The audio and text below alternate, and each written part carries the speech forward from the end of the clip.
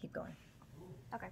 So, and then there, and there's like a bar area with like a, one of those sinks, and like as you can kind of notice, there is like the bathrooms are like on top of each other, exactly, like exactly on top. Six